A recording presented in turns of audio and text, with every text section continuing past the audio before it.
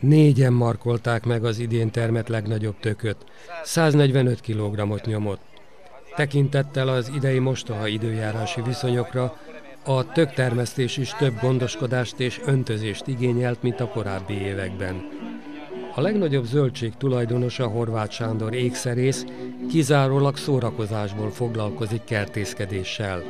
Gondoltam, hogy megpróbálni egy kis kihívás, hogy hát ha sikerül, vagy valami, és akkor az ember próbálgatja, hogy mindenki szeretne valamit különleg, és valami nagyobb, valamit elérni, gondolom, nagyobb eredményt is. Így sikerül. A kolbásztökök versenyét a Varga fivérek terményei nyerték, azonban idén ők sem termesztettek olyan hosszú tököt, mint a korábbi években. Látványos volt a kézművesek és a kézi munkázók termékeinek bemutatója is. Az alkalomhoz illően bepillantottunk Tényi Irénke tökös csárdájába is. Én nagyon szeretek ilyen bábokat készíteni.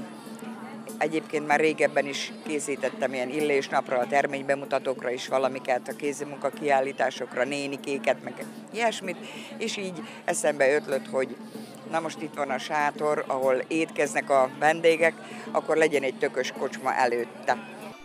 Kelendő volt a görhely és a tökös rétes. Közel 3000 darab készült.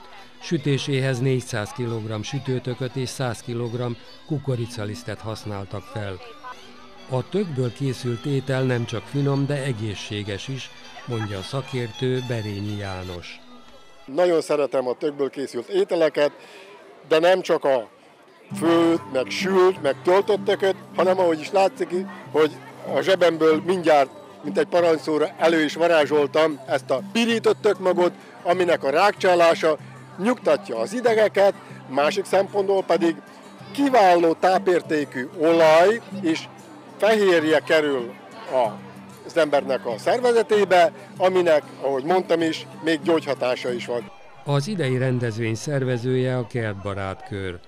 Ők gondoskodtak arról is, hogy a fesztiválra látogató ingyencek megtaláljanak mindent, mi szemszájnak ingere.